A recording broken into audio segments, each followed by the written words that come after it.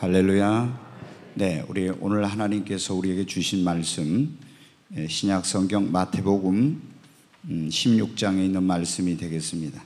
마태복음 16장입니다. 에코를 좀 더 넣어 보세요.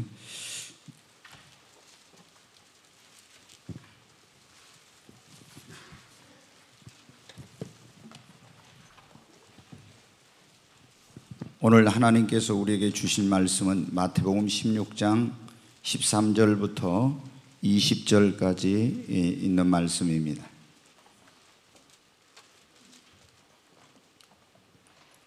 네, 이 말씀을 우리 교독하도록 하겠습니다. 좀 더 에코를 더 내야 돼. 너무 소리가 가라앉아가지고. 제가 먼저 어, 읽도록 하겠습니다. 예수께서 빌립보 가이사라 지방에 이르러 제자들에게 물어 이르시되 사람들이 인자를 누구라 하느냐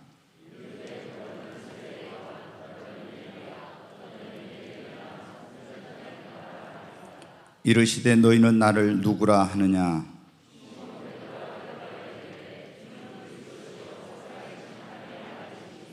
예수께서 대답하여 이르시되 바요나 시모나 네가 복이 있도다 이를 내게 알게 한 이는 혈육이 아니요 하늘에 계신 내 아버지시니라.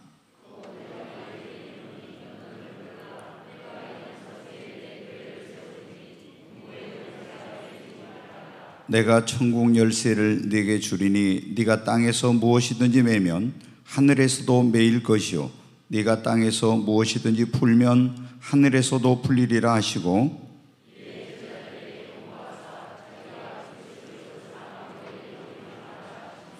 아멘. 19절 말씀을 네. 19절 말씀을 다시 한번 같이 읽겠습니다. 내가 천국 열쇠를 네게 주리니 네가 땅에서 무엇이든지 매면 하늘에서도 매일 것이요 네가 땅에서 무엇이든지 풀면 하늘에서도 풀리리라 하시고 아멘. 네, 인류의 구원자로 이 땅에 오신 예수님께서 어느 날 유대의 빌립보 가이사라 지방이라는 곳을 지나가시다가 제자들을 불러서 이렇게 예, 질문을 하십니다. 사람들이 인자를 누구라 하느냐? 인자란 말은 사람의 아들이란 그런 말인데 하나님의 아들이신 예수님께서 육신을 입고 이 땅에 오셨는데 그 예수님께서 사람들이 인자를 누구라고 하느냐고 이렇게 이제 물으셨어요. 네, 그래서 이 사람의 아들로 온 나를 사람들이 누구라고 하느냐. 그러니까 아, 이 제자들이 대답하기를 어떤 이는 헤로드 왕이 목을 베어서 죽인 세례 요한이 다시 살아났다고 하고 또 어떤 사람은 아, 그 엘리야라고는 선지자와 같다고 하고 또 어떤 사람은 에레미야와 같다고 또 다른 선지자와 같다고 이렇게 말을 합니다. 이렇게 대답을 했어요. 그때 예수님께서 그러면은 너희는 나를 누구라고 하느냐 이렇게 예수님께서 제자들에게 물었습니다. 그러니까 이 시몬 베드로라고 하는 예수님의 제자가 주는 그리스도시요 살아계신 하나님의 아들입니다. 이렇게 대답을 했어요. 이 말은 예수님은 하나님께서 인류를 구원하기 위해 보내겠다고 하는 약속한 메시아. 이 그리스도란 말은 기름 부음 받은 자 메시아라는 그런 뜻인데 하나님이 약속하신 인류의 구원자이시며 살아계신 전능하신 하나님의 아들입니다. 이렇게 고백을 했습니다. 그러니까 예수님이 칭찬을 하셨어요. 바요나 시모나 네가 복이 있도다.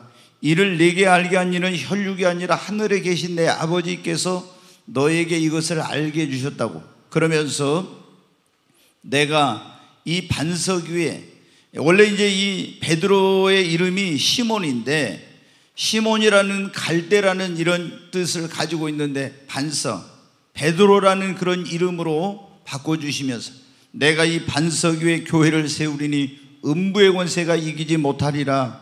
그리고 예수님께서 내가 천국 열쇠를 네게 주노니 네가 땅에서 무엇이든지 매이면 하늘에서도 매일 것이요 네가 땅에서 무엇이든지 풀면 하늘에서도 풀리리라 이렇게 말씀을 하셨습니다. 여러분, 오늘 여기 말씀해 보면 예수님께서 시몬 베드로에게 무엇을 주셨는지 나와 있죠. 천국의 문을 여는 열쇠. 내가 너에게 천국 열쇠를 준다고 이렇게 예수님께서 말씀을 하셨어요. 여러분, 우리가 지금은 어디 문을 열고 들어가려고 할 때 열쇠가 없어도 돼요. 뭐 카드로 한다든가 지문 인식으로 한다든가 번호키로 한다든가 여러 가지 방법으로 하죠. 근데 2000년 전에는 반드시 어떤 문을 열고 들어가려면은 열쇠로 그 문을 열어야만이 들어갈 수 있어요.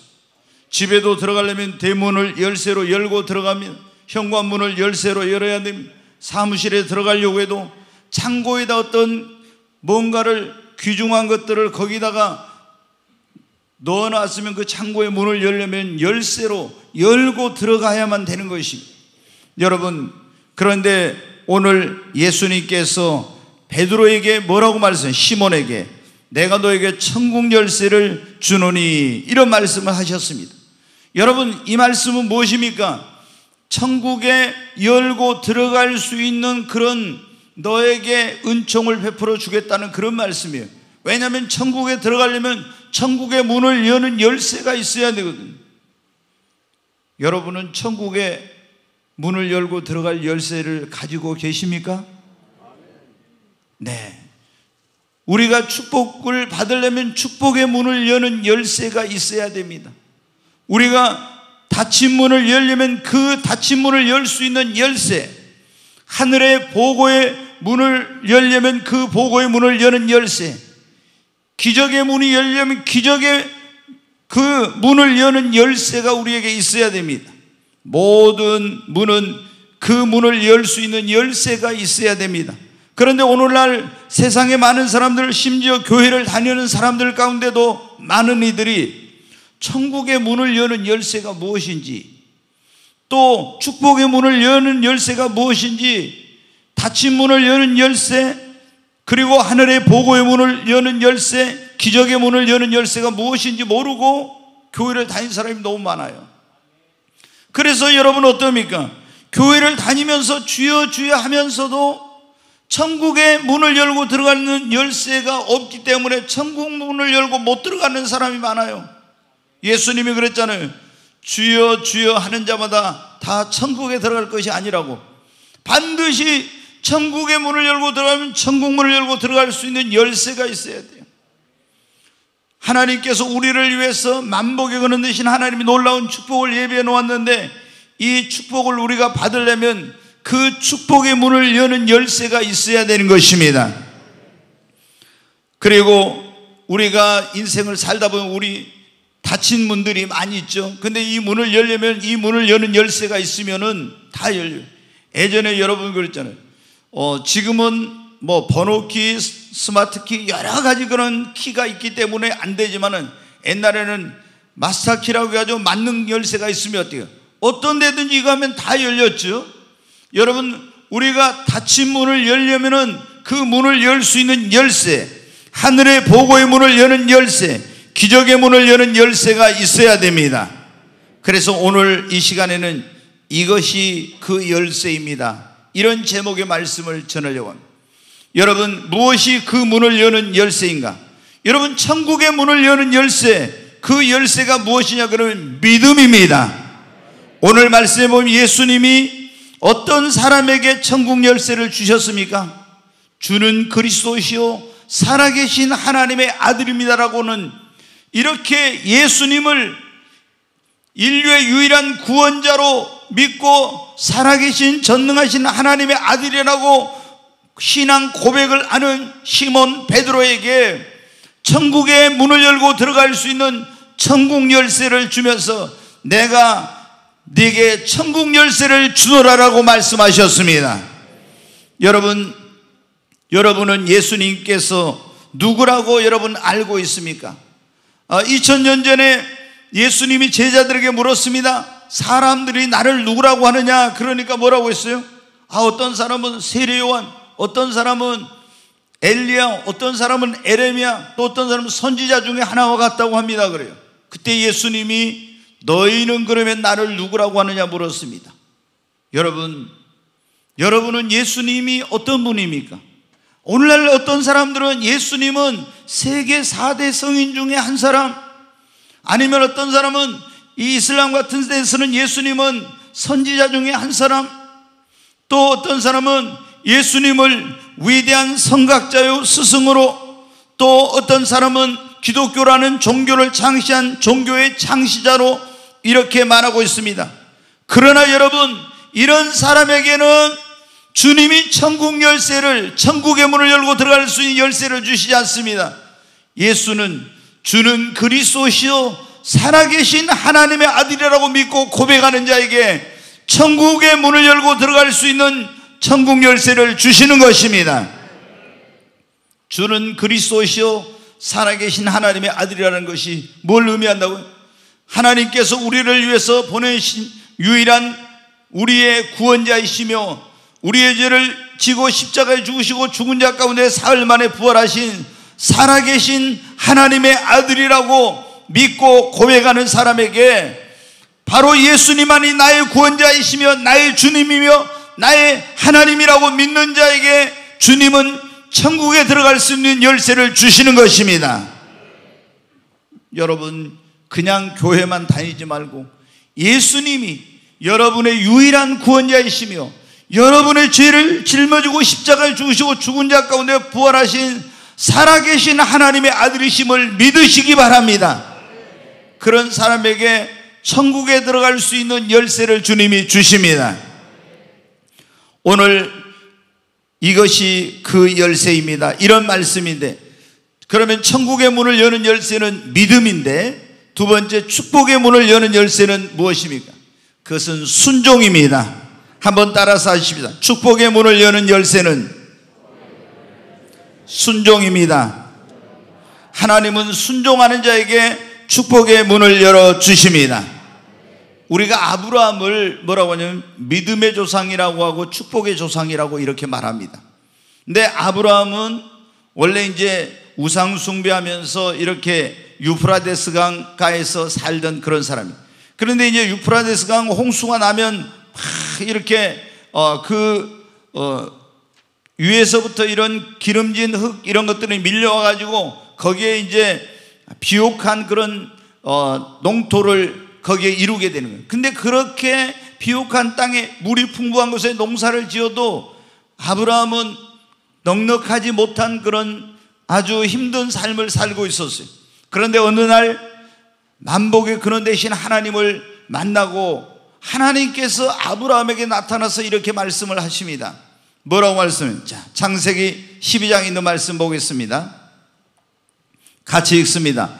여호와께서 아브라함에게 이르시되 너는 너의 고향과 친척과 아버지의 집을 떠나 내가 네게 보여줄 땅으로 가라고.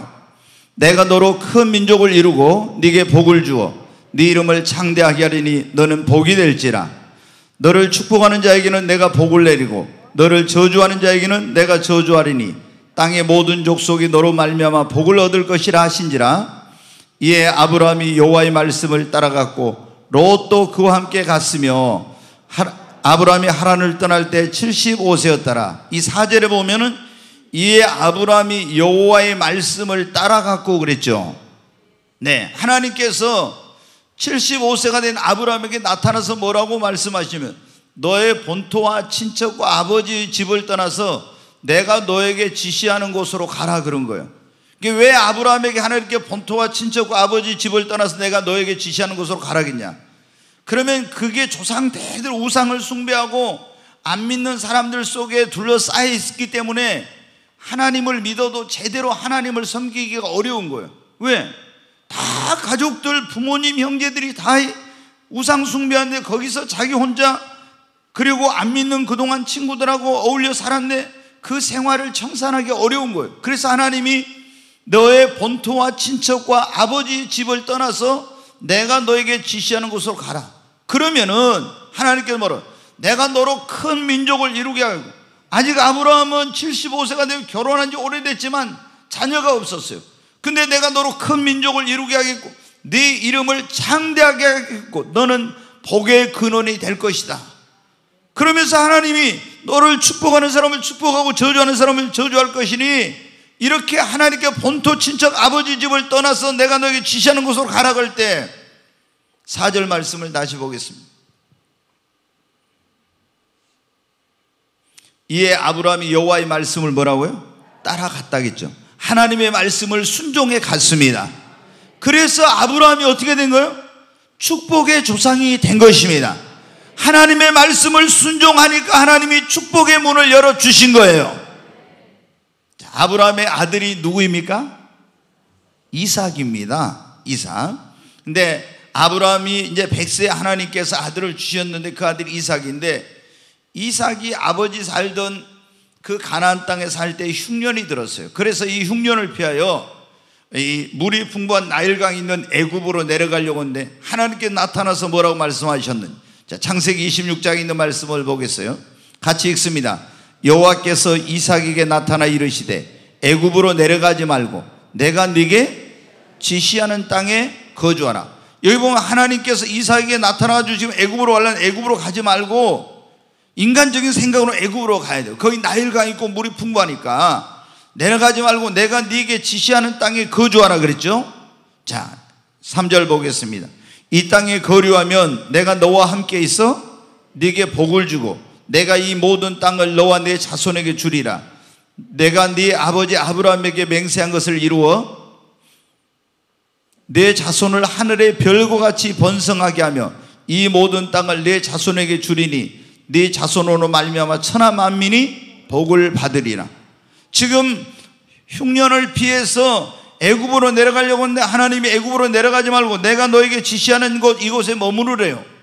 그러면 내가 네게 복을 주고 이 땅을 너와 내 자손에게 주고 아브라함에게 약속한 모든 그 복을 너에게 주고 네 자손으로 말며 천하 만민이 복을 받을 것이다. 이렇게 하나님께서 말씀을 하셨어요. 그래서 애굽으로 내려가려고 했던 이삭은 내려가지 않고 어떻게 했냐? 그 땅에 머물렀습니다. 하나님 말씀에 순종해서 머물렀어요. 그랬더니 어떤 일이 일어났냐? 자, 같이 읽습니다. 이삭이 그 땅에 농사하여 그의 백배나 얻었고 여호와께서 복을 주심. 여기 보니까 어떻게 돼요? 하나님의 말씀대로 순종했어요. 그, 그리고 그 땅에 농사를 했더니 그 해에 어떻게 해요? 백배나 수확을 얻었습니다. 백배나. 아무리 농사가 잘 된다 해도 백배로 잘 되기는 어려운 거죠. 하나님이 복 주시면 이런 역사가 일어납니다.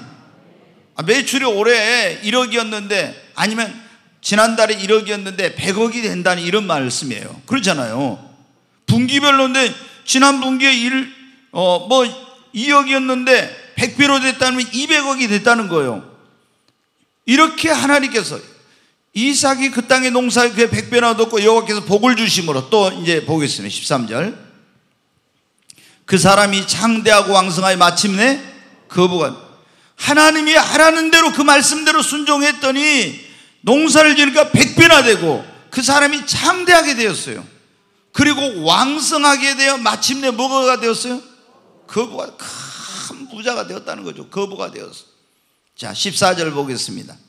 양과 소가 때를 이루고 종이 힘이 많으므로 블레셋 사람이 그를 시기하여 그때는 목축업을 할 때인데 양과 소가 때를 이룬 거예요. 종도 엄청나게 이제 이 오늘날로 말하면은 종업원들이 막 어마어마하게 늘어난 거예요. 예? 일, 일하는 사람들 회사에 이런 근로자들 직원들이 엄청나게 많아진 거예요. 그래서 어느 정도로 블레셋 사람이 안 믿는 하나님을 안 믿는 블레셋 사람이 시기할 정도로 이런 축복의 역사가 있었어요. 어떻게 이삭에게 이런 엄청난 축복의 문이 열렸습니까? 하나님께서 하신 말씀을 믿고 순종했을 때 여러분 순종이 축복의 문을 여는 열쇠입니다. 저는 이렇게 보면요. 예수님 믿는 사람들 가운데서 자, 예수를 나의 구원자요 나의 주님으로 믿어요. 그럼 그 사람은 믿음으로 말면 천국의 문을 열 수 있는 열쇠를 가진 거예요. 그런데 천국은 들어가는데 만복에 그는 대신 하나님을 믿는데 축복을 못 받고 굉장히 어려운 삶을 살고 있는 사람들이 많아요. 왜 그러냐? 예수님을 믿긴 하지만은 순종을 해야 되는데 하나님의 말씀에 순종을 해야 축복의 문이 열리는데 순종이 축복의 문을 여는 열쇠인데 순종을 안 해. 그러니까 축복의 문이 열리지 않는 것입니다. 하나님은 어떤 사람에게 그 축복의 문을 열어주시냐. 순종하는 자에게 축복의 문을 열어주시는 것입니다. 자, 신명기 28장 말씀을 한번 보겠습니다. 같이 읽습니다. 1절. 내가 내 하나님 여호와의 말씀을 삼가 듣고 내가 오늘 내게 명령하는 그의 모든 명령을 지켜 행하면 내 하나님 여호와께서 너를 세계 모든 민족 위에 뛰어나게 하실 것이라. 여기 보면 그러잖아요.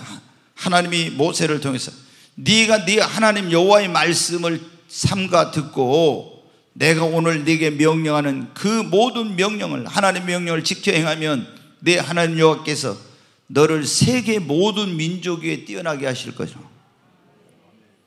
유대인들이 여러분 어떻게 돼요? 숫자가 지금 이스라엘에 있는 유대인이 800만 명이에요. 근데 이 전 세계에 흩어진 사람 자 하면은 뭐 한 모르겠어요. 한 2천만 될라나 2천만도 못 되나.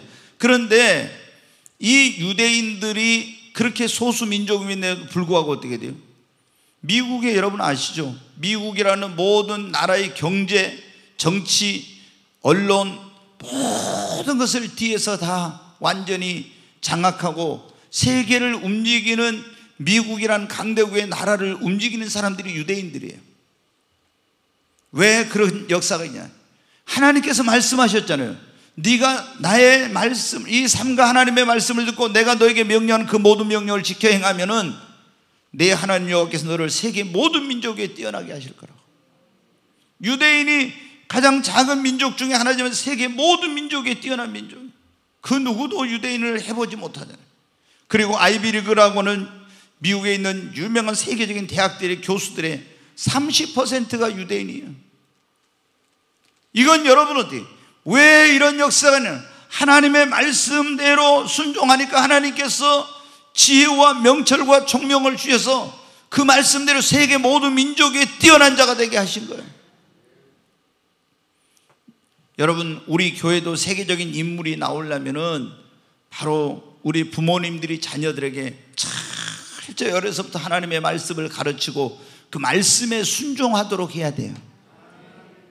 그래야 우리 자녀들이 어디를 가든지 여러분 직장에서 머리가 되고 꼬리가 되지 않고 위에만 있고 아래 있지 않고 그리고 어디를 가든지 세계 모든 민족에 뛰어난 자가 되게 하시는 겁니다. 여러분 계속 2절 한번 보겠습니다. 네가 내 하나님 여호와의 말씀을 청종하면 여기서 그래 청종하면 이 모든 복이 네게 임하면 네게 이르리니 하나님 말씀을 듣고 순종하면 이 모든 복이 내게 임하며 내게 이른다고 했잖아요. 자, 그러면 3절부터 또 읽습니다. 같이. 성읍에서도 복을 받고 들에서도 복을 받을 것이며 네 몸의 자녀와 내 토지의 소산과 내 짐승의 새끼와 소와 양의 새끼가 복을 받을 거예요. 네 몸의 자녀와 내 토지의 소산, 내 짐승의 새끼와 소와 양의 새끼가 복을 내 몸의 자녀. 우리가 하나님 말씀에 순종하면 어떻게 된다면 나만 복을 받은 것이 아니라 어떻게 돼요? 우리 자녀들이 복을 받아요. 그 다음에 내 토지의 소상과 이게 뭐예요? 우리가 하는 모든 그런 그때는 농경사회며 목축을 하니까 이 모든 소산에 하나님이 복을 주시고 내 짐승의 새끼와 소와 양의 새끼가 복을 받을 것이며 우리가 하나님 말씀을 순종하면 우리 집안에 있는 짐승까지도 다 복을 받는다니까. 자, 5절 계속 보겠습니다. 네 광주리와 떡반죽 그릇이 복을 받고 광주리와 떡반죽 그릇이 뭡니까? 이 먹고 사는 그 의식주에 대한 이런 것에 하나님께서 넘치도록 그 복을 주신다는 거예요. 자, 6절 보겠습니다. 같이 읽습니다. 네가 들어와도 복을 받고 나가도 복을 받을 것이니 어떻게 하면 하나님 말씀에 순종하면 여러분 하나님의 말씀에 순종 이 순종이 축복의 문을 여는 열쇠입니다. 한번 말씀을 좀더 보기 12절 13절을 보겠습니다. 같이 읽습니다. 여호와께서 너를 위하여 하늘의 아름다운 보고를 여시사 내 땅에 때를 따라 비를 내리시고 내 손으로 하는 모든 일에 복을 주시리니 네가 많은 민족에게 꾸어 줄지라도 너는 꾸이지 아니할 여호와께서 너를 위하여 뭐라고 했습니까? 하나님 말씀에 순종하면 하늘의 아름다운 보고를 여사 내 땅에 때를 따라 비를 내리시고 네, 여러분 정말 우리가 꼭 비가 필요할 때 비가 와야 되잖아요. 농사를 지어 보신 분들 알 거예요. 근데 우리가 어떤 일을 하다 보면 꼭 누군가에게 도움이 필요하고 뭔가 물질이 필요하고 뭔가 이런 게 있을 때 그때 딱 때에 맞게 도움이 오고 때에 맞게 어떤 역사가 일어나고 얼마나 이게 중요합니까?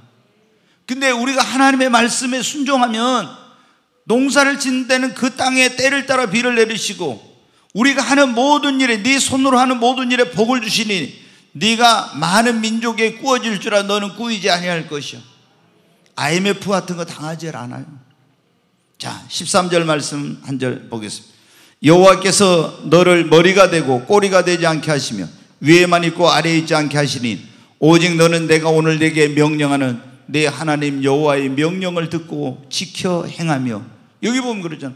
네 하나님 여호와의 말씀을 듣고 명령을 듣고 지켜 행하면 하나님의 말씀을 순종하는 것이 순종이 바로 축복의 문을 여는 열쇠입니다. 여러분이 예수님을 믿어도 하나님의 말씀에 순종하지 않으면요, 축복의 문이 열리지 않아. 여러분이 하나님의 말씀에 순종할 때 축복의 문이 열리는 역사가 일어납니다. 순종이 뭐라고요? 축복의 문을 여는 열쇠입니다. 네, 이것이 그 열쇠입니다. 오늘 그런 말씀을 듣고 있는데 우리가 인생을 살아가다 보면 어떤 문들이 막 닫혀 있어요. 근데 이 문을 열어야 되는데 내 힘으로 능력으로 열 수 없을 때 있어요. 근데 이 모든 우리 인생의 닫힌 문을 여는 열쇠가 뭐냐면 기도입니다. 자, 한번 어, 따라서 기도는 우리 인생의 마스터 키입니다. 여러분 마스터 키란 게 뭔지 아시죠? 만능 열쇠잖아요. 근데 우리 인생의 모든 닫힌 문을 여는 열쇠가 여러분 기도입니다. 예수 그리스도를 믿고 구원받은 하나님의 자녀들에게 하나님께서 우리가 살아가면서 우리 힘으로 능력으로 열 수 없는 문을 열 수 있는 그런 열쇠를 주셨어요. 그게 뭐냐면 예수 이름으로 기도하라는 것입니다. 이번 금요철에 제가 그런 말씀을 전했는데 여러분 주님께서 그런 말씀을 하셨어요.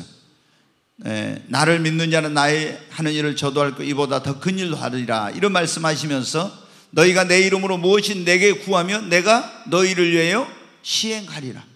너희가 지금까지는 내 이름으로 아무것도 구하지 않았으나 구하라. 아버지께 구하라. 그럼 너희 기쁨이 충만하리라. 여러분, 우리 인생의 닫힌 문을 여는 열쇠가 뭐냐면 기도입니다. 전능하신 하나님께 기도하면 안 열리는 문이 없습니다. 자, 지금 우리가 대학생들이 졸업하면은 직장에 들어가 취업의 문이 안 열린다. 여러분, 기도하면 취업의 문이 열립니다. 어떤 사람은 결혼했는데 대문이 안 열려. 아직 자녀가 없어. 성경에 보면 여러분 어때? 한나가 결혼했는데 대문이 안 열려가지고 남편이 작은 부인을 데려다가지고 얼마나 무시를 당하고 그런 어떤 어려움을 겪었는지 몰라요. 그런데 여러분 하나님 앞에 기도하니까 안 열렸던 태문이 열렸습니다. 이삭과 리브가도 결혼해가지고 20년 동안 아이가 없었는데 두 사람이 부부가 합심해서 기도했더니 태문이 열리고 하나님이 쌍둥이를 주셨어요. 이 세례 요한의 아버지인 사가랴 어머니 엘리사벳도 아이가 없었는데 하나님께 기도했더니 하나님이 할머니 할아버지 됐을 때 대문을 열어가지고 요한이라는 아들을 주셨어요. 여러분, 삼손의 아버지와 어머니도 나이가 많도록 아이가 없었는데 하나님께 기도했더니 하나님께 대문을 열어가지고 삼손이라는 아들을 주셨습니다. 혹시 여러분 가운데 또는 여러분의 자녀들 가운데 결혼했는데 아직 대문이 열리지 않는 그런 분들이 있습니까? 하나님은 우리에게 닫힌 문을 열 수 있는 열쇠를 주셨습니다. 기도하면 대문이 열리는 것입니다. 사업하는데 막 사업의 문이 안 열려요? 답답하죠? 여러분, 사업의 문이 안 열릴 때 기도하면 사업의 문이 열립니다. 닫힌 하늘문마저도 기도하면 열립니다. 엘리야가 여러분 보세요.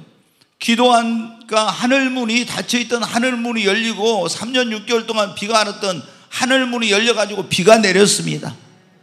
여러분 우리가 막 지금 코로나 이런 시대에 전도가 어렵다. 전도의 문이 안 열린다고. 기도하면 전도의 문이 열립니다. 어떤 사람에게 복음을 전하는데 그 사람의 마음이 너무 탁 닫혀 있어가지고 강팍해가지고 안 열린다고요. 하나님께 기도하면 그 강팍한 내 힘으로 능력으로 열 수 없는 문도 성령님께서 여러분 열어주십니다. 기도하면 안 열리는 문이 없습니다. 기도가 닫힌 모든 문을 여는 여러분 열쇠입니다. 이걸 모르니까 여러분 어때? 아우, 문이 안 열려. 뭐 안 돼. 이러고만 있지 기도를 안 하는 거예요. 아, 이 기도가 내 인생에 맞삭히고 모든 문을 기도하면 다 열린다는 걸 믿는 사람들은 여러분 기도합니다. 심지어 감옥의 문도 기도하면 자, 사도행전 12장 5절부터 한번 보겠습니다. 같이 읽습니다. 이거 한 절. 이에 베드로는 옥에 갇혔고 교회는 그를 위하여 간절히 하나님께 기도하더라 그랬죠. 여기 보니까 베드로가 어디에 갇혔다고요? 감옥에 옥에 갇혔어요. 교회는 그런데 이 감옥에 갇힌 베드로를 구할 방법이 없어요. 감옥 문을 가서 열고 구해야 되는데 헤로당이 야고보라는 사도를 죽이고 나니까 유대인들이 너무 좋아해서 예수님의 제자 가운데 수제자인 베드로를 체포해 가지고 감옥에 가둬놨어요. 그리고 이제 날이 새면 죽이려고 광장에 끌어내 죽이려고 하는데 교회가 어떻게 돼? 어떻게 감옥문을 열고 가서 베드로를 구할 방법이 없는 거예요. 그래서 베드로는 옥에 갇혔고 교회는 그를 위하여 간절히 하나님께 기도했습니다. 그랬더니 여러분 어떤 일이 일어나 보세요. 자, 6절부터 계속 읽습니다. 헤롯이 잡아내려고 하는 그 전날 밤에 베드로가 두 군인 틈에 두 쇠사슬에 매어 누워 자는데 파수꾼들이 문 밖에서 옥을 지키더니 호련히 주의 사자가 나타나며 옥중에 광채가 빛나며 또 베드로의 옆구리를 쳐 깨워 이르되 급히 일어나라 하니 쇠사슬이 그 손에서 벗어지더라. 천사가 이르되 띠를 띠고 신을 신으라 하거늘 베드로가 그대로 하니 천사가 또 이르되 겉옷을 입고 따라오라 한데 베드로가 나와서 따라갈새 천사가 하는 것이 생신 줄 알지 못하고 환상을 보는가 하니라 이에 첫째와 둘째 바수를 지나 시내로 통한 세문에 이르니 문이 저절로 열리는지라 나와서 한 거리를 지나매 천사가 고 떠나니라 여기 보니까 기도했더니 열릴 수 없는 문이 어떻게 되면 감옥에 첫째와 둘째 바수를 지나 시내를 통한 세문에 이르니 문이 어떻게 돼요? 저절로 열리니 그래서 베드로가 여러분 날이 새면 이제 죽어야 되는데 구할 방법이 없어요. 감옥의 문을 어떻게 열어요? 군인들이 다 지키고 있네. 근데 하나님께 간절히 기도했더니 하나님이 천사를 보내가지고 그 자신들의 힘으로 능력으로 열 수 없는 문을 열어버린 것입니다. 여러분, 우리가 뭔가 문이 열려야 돼, 안 열릴 때는 내 힘으로 능력으로 없을 때는 하나님이 초자연적인 방법으로 여시기도 하지만 때로는 천사와 같이 도울 자를 보내서 취업의 문을 열어주시고 사업의 문을 열어주시고 여러분에게 여러분의 힘으로 열 수 없는 문을 열어주시는 것입니다. 아, 천사라고 하니까 저기 하늘에서 여러분 이 땅에서 천사 같은 사람을 보내가지고 문을 열어주세요. 여러분 우리 인생에 닫힌 모든 문을 여는 열쇠가 뭐라고요? 기도입니다. 아멘. 취업의 문이 안 열린다고. 여러분, 기도하십시오. 태문이 안 열리면 기도하십시오. 사업의 문이 안 열리면 기도하십시오. 전도의 문이 안 열리면 기도하십시오. 여러분, 지금 감옥에 갇혀 있는 것은 다, 근데 이게 답답한 가운데 문이 안 열려. 기도하면 열립니다. 여러분, 닫힌 문이 그런데 더 빨리 열리려면 어떻게 했냐? 이 닫힌 문을 여는 열쇠가 기도라고 있습니다. 근데 이 문을 더 빨리 여는 방법이 있어요. 그게 뭐냐? 작정 기도를 하는 거예요. 내가 취업의 문이 빨리 열리기로 하면 하나님 앞에 어느 어떤 시간 동안 기간을 정해놓고 작정하고 기도하는 거예요. 아, 어떻게 돼? 내가 일주일 동안, 아니면 10일 동안, 뭐 13일 동안, 20일 동안, 40일 동안 이런 식으로 딱 작정을 해. 그래 뜻을 정해가지고 내가 이번엔 40일 동안 새벽 기도 나오고 하루에 한 개씩 금식하며 기도한다든가 이런 식으로 하루에 몇 번씩 또 세 번씩 기도한다. 평상시에 한 번씩 했어. 이런 식으로 하면서 하나님 앞에 그 문제를 가지고 집중적으로 하는 기도. 이게 뭐냐면 작정 기도예요. 이렇게 뜻을 정해서 작정하고 기도하고 그 다음에 어떻게 합심 기도를 해. 혼자 기도하지 말고 부부가 같이 하고 가족이 같이 하고 또 셀 식구들이 같이 하고 이렇게 합심해서 기도하고 그리고 어떻게 해요? 빨리 문이 열리려면 작정기도, 합심기도, 간절한 기도. 간절한 기도는 뭐냐? 새벽 기도가 간절한 기도. 철야 기도가 간절한 기도. 금식 기도가 간절한 기도. 막 부르짖어서 막 예수 임사는 기도가 간절한 기도. 심한 통곡과 눈물로 하는 기도가 간절한 기도. 이렇게 작정하고 합심하고 간절하게 기도하고 끈질기게 기도하면 여러분 닫힌 문이 더 신속하게 열립니다. 아멘. 어, 여러분 어떻게? 자, 한번 보십시오. 천국의 문을 여는 열쇠가 뭐라고요? 믿음. 축복의 문을 여는 열쇠? 순종. 그리고 닫힌 문을 여는 열쇠? 기도입니다. 자, 하늘의 보고의 문을 여는 열쇠가 있습니다. 만복의 대신 하나님께서는 하늘의 보고에 어마어마한 그런 보호와 복을 쌓아놓으시고 이것을 우리에게 주시고자 하는데 안타깝게도 많은 사람들이 이 보고의 문을 열, 여는 열쇠가 무엇인지 몰라서 이 복을 못 받고 있는데 하나님 말라기 선자를 통해서 하늘의 보고의 문을 여는 열쇠가 무엇인지 우리에게 가르쳐 주셨어요. 자, 말라기 3장 10절을 한번 보겠습니다. 같이 읽습니다. 만군의 여호와가 이르노라 너희의 온전한 11조를 창고에 들여 나의 집에 양식이 있게 하고 그곳서 나를 시험하여 내가 하늘 문을 열고 너희에게 복을 쌓을 것이 없도록 붙지 아니하나 보라.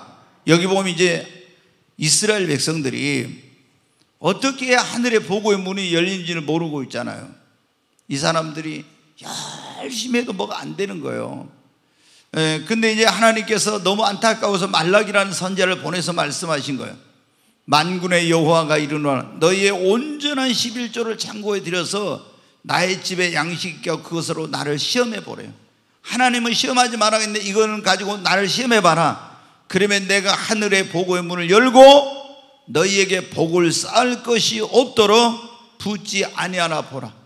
여러분 하늘의 보고의 문을 여는 열쇠가 뭐라고요? 그냥 11조가 아니라 뭐예요? 온전한 11조를 드리면 온전한 11조를 드리면 하나님이 하늘의 문을 열고 너에게 복을 쌓을 것이 없도록 붙지 아니하나 보라. 여러분 우리가 있잖아요. 어떤 분들 그럽니다. 제가 이제 이렇게 목회를 30년 이상 했으니까 알잖아요. 보면은 어렵다고 있잖아요. 자기 어떤 경제 생활이 어렵다고 11조를 못한 사람들은요, 경제적으로 계속 어려 펴지질 않아요. 계속 그런 어떤 어려움에서 벗어나지를 못해. 예, 근데 어려움 중에도 10, 10은, 11조는 하나님의 것이다 하고 먼저 떼가지고 하나님께 드린 사람은 여기 뭐라고 있어요? 온전한 11조. 예를 들어서 11조란 게 뭐예요?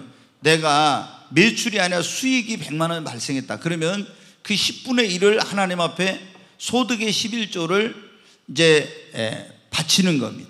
그럼 100만 원 받았으면 어, 벌었으면 어때요? 10만 원이 11조예요. 근데 이제 어떤 사람은 10만 원을 안 하고 9만 원을 한다든가 8만 원 이것은 온전한 11조가 아니에요. 이렇게 이스라엘 백성들이 11조를 안 하는 것은 아니었어요. 11조를 했는데 온전한 11조를 안 하고 얼마 떼어먹고 한 거예요. 그러니까 하나님이 어찌하여 너희가 내 것을 도둑질하냐 하면서 너희가 만군의 여호와 내가 이루노니 너희가 온전한 11조를 창고에 들여 나의 집에 양식 있게 하고 그것으로 나를 시험해 보래요. 여러분 어떤 목사님 그러더라고요. 3년 동안만 11조를 제대로 드리면서 한번 시험해 보라. 하나님이 물질에 복을 주나 안 주나. 근데 많은 사람들이 11조를 제대로 못 드려. 그러면 계속 하늘의 보고의 문이 열리지 않습니다.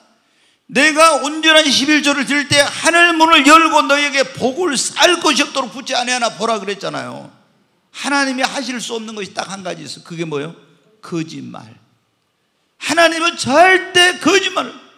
그분이 하신 말씀은 천지가 없어도 1.1핵도 없어지지 않아요. 근데 그 하나님께서 약속하신 우리가 성경을 뭐라고 하냐 구약 신약이라고 그래 구약은 옛날에 하나님이 하신 약속 신약은 새로 한새 언약이다 해서 신약이라고요 근데 하나님의 모든 말씀은 언약의 말씀인데 하나님께서 뭐라고 했습니까? 온전한 11조를 드리면 내가 너희에게 복을 쌓을 것이 없도록 붙지 아니한 한번 시험해 보래요 예전에 저희 교회에 그런 분이 있었어요. 이제 어디 저기 노조에 금 뭐 선창에서 노조에 제가 이제 그 어, 무슨 회사라고는 안, 안 알겠습니다. 근무하시는 분이 있었는데 이분이 어 한번 하나님이 이분에게 찾아오신 그런 그분은 원래 그런 것을 뭐 한 사람이 전혀 아니에요. 예, 그런데 이분에게 주님이 찾아왔어요. 그래가지고 이제 우리도 몰랐는데 자기가 다 전화를 하고 막 이렇게 해가지고 간증을 해서 알겠는데 이분이 11조를 드리긴 드리는데 온전한 11조를 안 드렸던가 봐요. 꼭 조금씩 뭐 예를 들어서 뭐 90, 뭐 7만 원 벌었으면 예를 들어 9만 원만 이런 식으로 이제 11조를 한다든가 끝에는 떼고 이제 꼭 이렇게 11조를 했던가 봐요. 아, 그랬는데 주님이 찾아오신 거예요. 야근을 하고 있을 때 주님이 찾아와가지고 너희 놈 주님이 직접 찾아왔어. 너희 놈왜 나의 11조를 떼어먹냐 그런 거예요. 와, 그럼 여러분 생각해 보세요. 하나님이 여러분에게 찾아와서 그랬다 해봐요. 저는 예수님을 직접 만났고 하나님을 만난 사람이니까 하나님 앞에 서면요. 하나님이 너 여호와가 이런 말씀하시면요. 저 심장, 저 영혼 깊은 곳까지도요. 막 덜덜덜덜 떨려버려요. 근데 하나님이 딱 찾아왔어요. 그래가지고 너 이놈 어찌하여 나의 11조를 떼어먹냐고 이러니까 이분이 정말 얼마나 충격을 받고 놀려. 그리고 또 그런 말씀을 했대요. 왜 너 남성교회 회비를 떼어먹냐? 왜 회비를 안 내고 미루냐고 그런 거. 그러니까, 아, 주님, 제가 날 세면 11조 떼어먹은 것도 하고, 어, 저기, 뭐, 성교 회비 그거 안 낸 것도 하겠습니까? 날 세기까지 기다리면 지금 당장. 그러니까 그 밤중에 있잖아요. 남성교 회장님한테 전화를 한 거예요. 그분이 야, 그 한번 술 먹고 그런지 술 먹고 있잖아요. 덤프 덤프 트럭 온데 그 밑으로 있잖아요. 차를 타고 덤프 밑으로 들어가 버렸어요. 근데 폐차했는데 하나도 안 다쳤는데 하나님 그때 살려 주셨는데 정신 못 차리고 이렇게 한 거예요. 그러다가 어떻게? 주님이 찾아오셔 가지고 자기가 이 고백을 다 하고 그동안 11조 떼어먹은 거 다 하고 온전한 11조 안 했다는 우리가 뭐 어떻게 알겠어요, 그거? 그때는 뭐 지금은 우리가 이 세무서에서 이렇게 하기 때문에 음 이거 검사를 하기 때문에 다 전산 처리를 하지만 그때는 그런 거 안 하고 무명으로 막 다 할 때니까 누가 뭐 한지 안 한지 이거 모를 때죠. 근데 여러분 어때요? 자기가 그 말을 다 와서 했어요.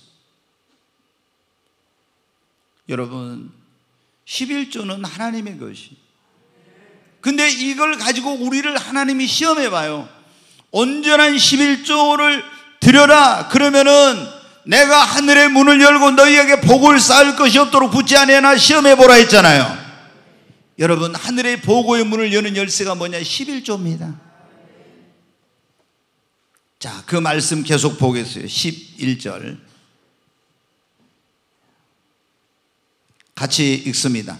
만군의 여호와가 이르노라 내가 너희를 위하여 메뚜기를 금하며 너희 토지 소산을 먹어 없애지 못하게 하며 너희의 밭과 포도나무 열매가 기한 전에 떨어지지 않게 하리니 여기 보면 이제 뭐라고 했습니다.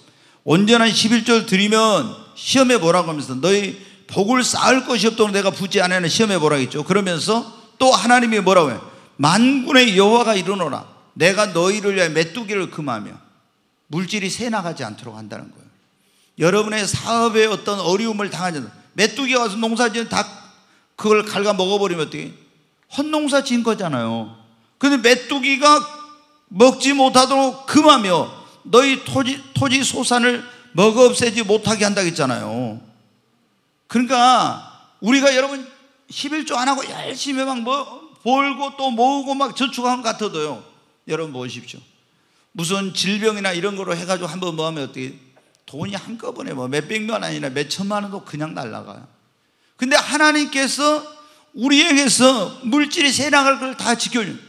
여러분 어떻게 열심히 그렇게 했는데 보이스피싱으로 해가지고 한 번에 얼마나 많이 날리고 사기당해서 날리고 이런 거 하나님 이런 걸 다 막아주신다는 거예요. 내 너희 밭에 포도나무 열매가 기한전에 떨어지지 않게. 기한전에 떨. 자, 여러분 보세요. 사업을 하다 사업이 중간에 부도난 것은 기한전에 떨어진 거예요. 여러분 보세요. 학생이 학교에 들어갔는데 이 학교를 졸업하지 못하고 중간에 퇴학당은 기한전에 떨어진 거예요. 그 다음에 우리가 여러분 어때 생명의 수를 그래도 인간의 연수가 70이고 강건한 80, 70 이상은 살아야 되는데 50에서 죽는다는 것은 이건 뭡니까? 기한전에 떨어진 거예요. 그리고 또 여러분 임신했는데 아이가 해산에 때 제대로 해산을 해야 되는데 중간에 유산되어 버리면 기한전에 떨어진 거예요. 내가 열심히 뭔가 수고해 놓은 것이 열매를 맺기 전에 그것이 안 되고 실패로 끝나면 그게 뭡니까? 기한전에 떨어진 거예요. 그런데 주님이 뭐라고 말씀했습니까?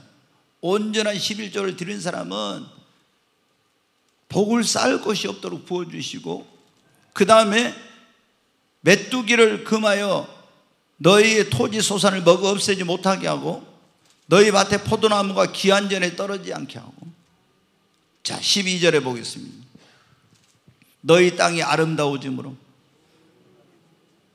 모든 이방이 너희를 복되다. 여러분의 삶의 터전을 더 복되게 해주신다는 거예요. 적과 꾸려는 땅으로. 그래서 이방인 안 믿는 사람이 다 모든 사람들이 아, 저 사람 하나님 믿더니 진짜 축복받았네. 모든 사람이 알게 해주시나. 여러분, 오늘 우리가 이것이 그 열쇠입니다. 그런 말씀. 천국의 문을 여는 열쇠는 믿음입니다. 축복의 문을 여는 열쇠는 순종입니다. 그리고 모든 닫힌 문을 여는 열쇠는 기도입니다. 하늘의 보고의 문을 여는 열쇠는 여러분 온전한 11조예요. 여러분 록펠러라고는 세계적인 지금 뭐 우리가 이제 어 뭡니까 지금은 현재는 최고의 부자가 어 누구예요? 예, 아마존이 예, 그 전자상거래를 하고 있는 아마존이 이게 코로나 때문에 최고 부자가 됐어요. 예전에는 빌 게이츠가 이제 예, 컴퓨터 개발해가지고 최고 부자가 된 적이 있었죠. 그 다음에 이제 뭐 다른 사람들 자꾸 이렇게 바뀌었는데 어, 지금 작년에 코로나 이것 때문에 예, 이제 사람들이 이제 전자상거래를 많이 해가지고 아, 이 아마존이 그 창업자가 세계 최고의 지금은 부자입니다. 그런데 이런 사람들과 비교가 안 되는 세계적인 부자가 있어요. 그 사람이 록펠러라는 사람이에요. 이 록펠러는 여러분한테 우리나라 삼성이 지금 우리나라 경제에 차지하는 비율이 엄청나게 큰데 미국 경제에 그 거대한 미국이란 나라의 경제에 50% 이상의 그런 어떤 걸 차지했어요.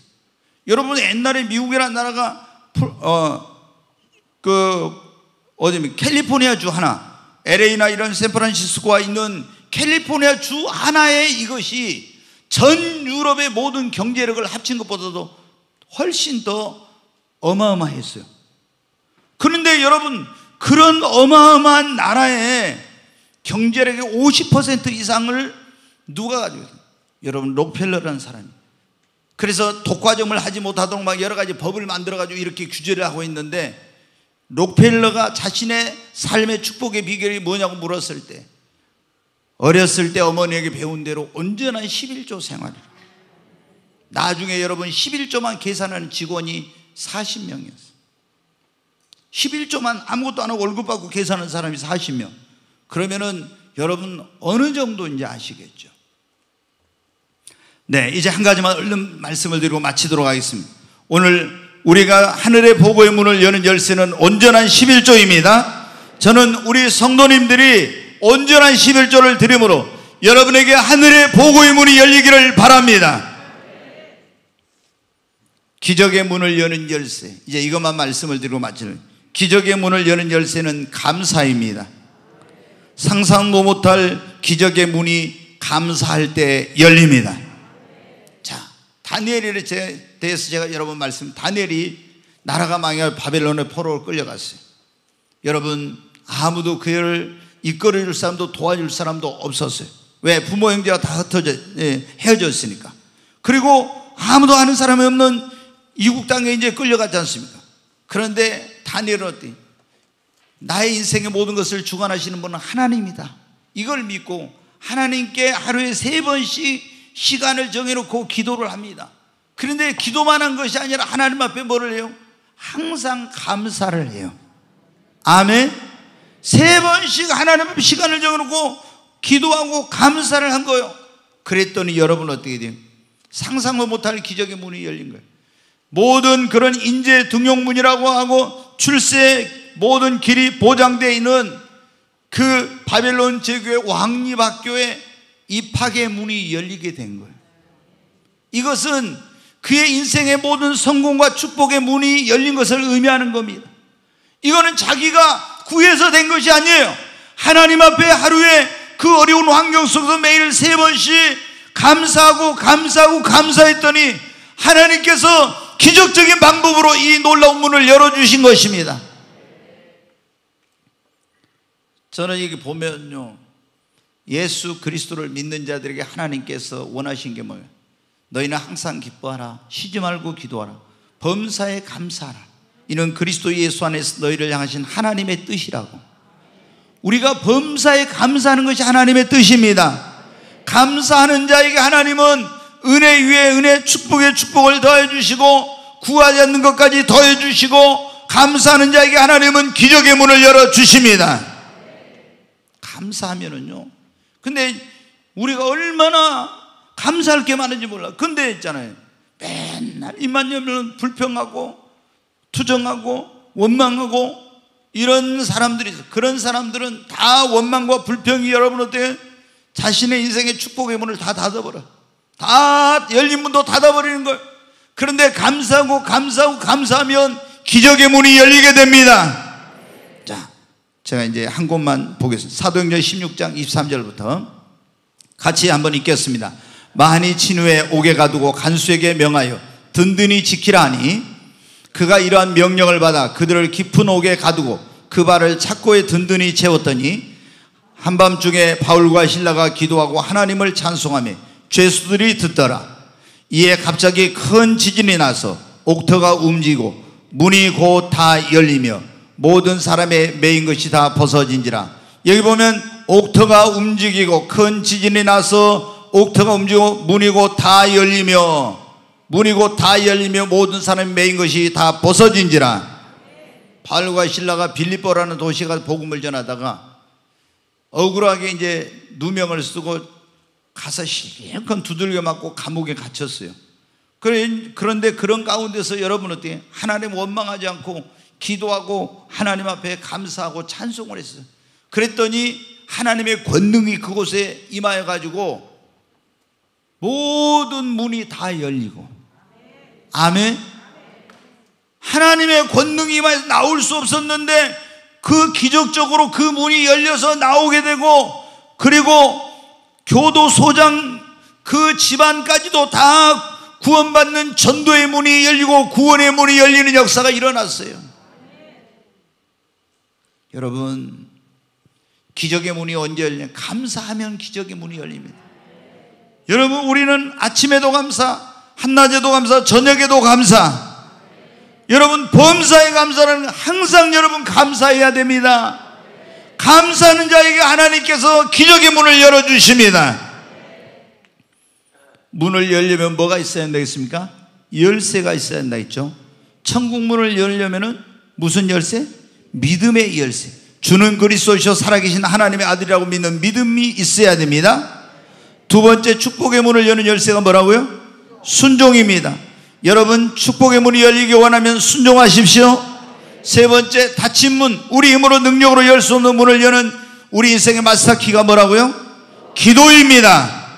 네 번째 하늘의 보고의 문을 여는 열쇠가 뭐라고요? 온전한 11조입니다. 그리고 기적의 문을 여는 열쇠가 뭐라고요? 감사.